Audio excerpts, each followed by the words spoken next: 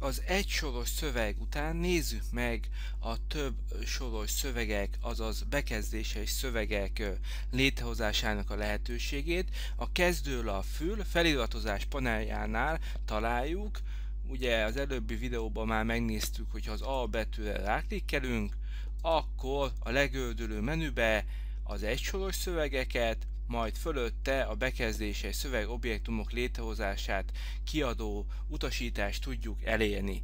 Most klikkeljünk rá a bekezdéses szövegre.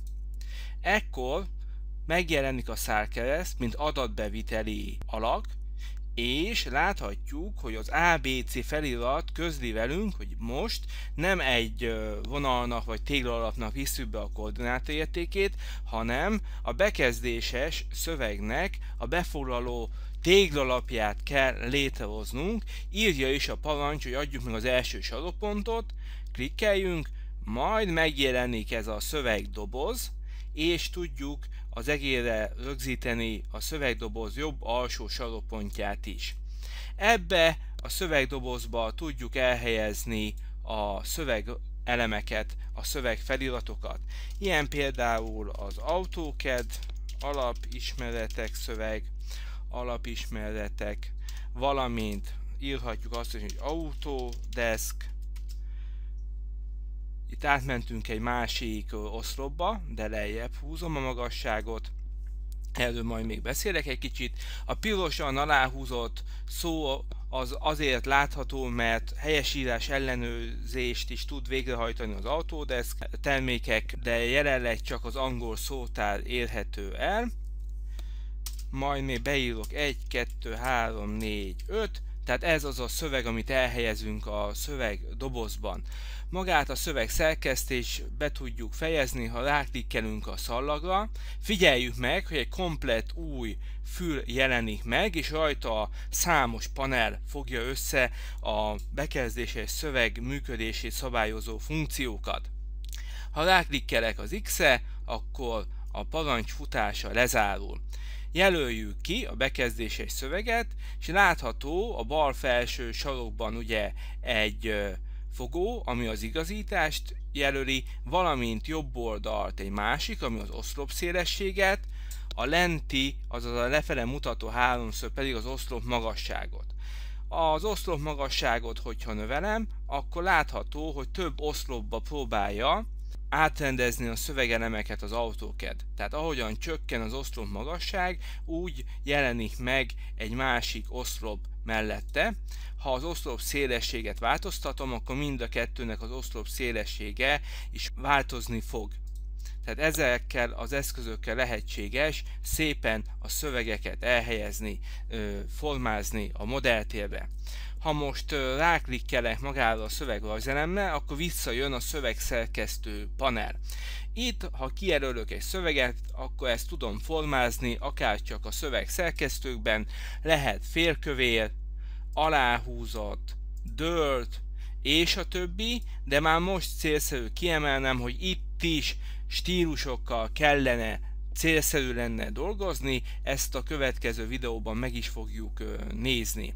Speciális karaktereket is el tudunk helyezni a szövegekben, például itt a beszúrásnál találjuk a rajzi jeleket, ha rámegyünk, akkor ki tudjuk választani a fok szimbólumot, ki tudjuk választani a plusz-minusz rajzjelet, vagy éppen az átmérőt.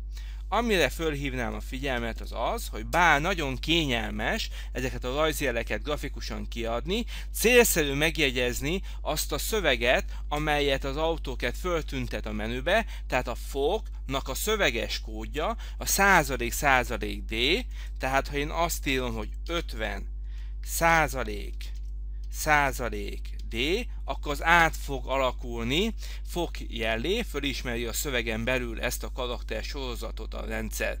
Ez azért fontos, mert például az egyszerű szövegeknél is így tudjuk bevinni a fokjelét, a plusz-minusz jelét, az átmérő jelét, és azokat a szimbólumokat, amelyeket itt felsorol az autóker, például az ohm jelet és a többit.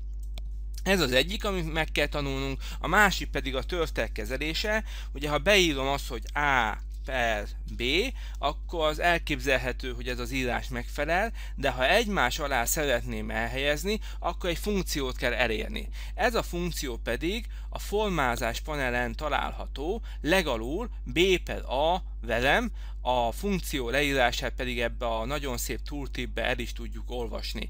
Ha most ráklikkelek, akkor egymás alá rendezte a elemeket. Ha most kijelölöm, akkor megpróbálom kikapcsolni, és szépen eltűnik az egymás alá rendezés. Fontos, hogy ez a velem funkció csak akkor érhető el, ha ki van jelölve egy megfelelő szöveg rész.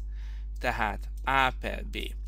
Ha például ide ezt a karaktert ütöm be, akkor szépen tört vonallal fogja megjeleníteni, ha pedig a kalap jelet viszem be, akkor egymás alá rendezi, de nem látható a tört vonal.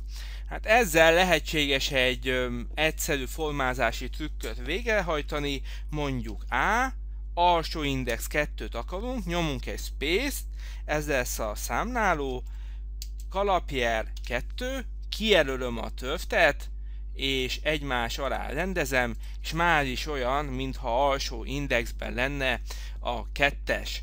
Bizonyos fontoknál, szövegstílusoknál ezekkel egészen szépen tudunk dolgozni. Amit még el szeretnék mondani az az, hogy természetesen a szövegeket lehet rendezni, igazítani, ezeket itt a bekezdés panelen találjuk meg, valamint a helyesírás ellenőrzést ki és be lehet kapcsolni, magát a helyesírás ellenőrzés beállításait pedig itt tudjuk elérni. A régebbi panelt, amit jobban megszoktunk a régebbi autókedeknél, pedig innen a beállítások panelről tudjuk elérni, menjünk a továbbiakra, és szerkesztő beállítások, ezen belül pedig az eszköztár megjelenítése, tehát ez a régi szövegformázási ablak is elérhető, kilépünk a parancsból, majd újra ráklikkelünk a rajzelemre, be fog jönni ez a megszokott, hagyományos szerkesztő panel is. Látható, hogy itt van a szabványos stílus, ezzel dolgozunk, de el tudunk ettől térni, más betű típust is meg tudunk adni, miközben ennek a stílusa szabványos az a standard. Ez nem jó, ez a, ez a stílus, olyan értelemben mondom ezt, hogy nem szabad ilyeneket, ilyen rajzolási stílussal dolgoznunk, mindig használjuk az előre elkészített szövegstílusokat, és ne egyesével szövegelemenként adjuk meg a formázást, ha erre mód van. A bekezdéses szövegekkel sok mindent meg tudunk csinálni, amit az egyszerű szövegelemmel nem, de azt is vegyük számításba, hogy ilyenkor azért az ilyen rajzelemekkel valóban egy kicsit macerásabb a munka. Az egyszerű szövegeket célszerű ott használni, ahol tényleg egysoros szövegeket szeretnénk létrehozni, nagy mennyiségben, a bekezdéses szöveggel pedig nagyobb szövegmennyiségeket tudunk ízlésesen elhelyezni a modelltérben.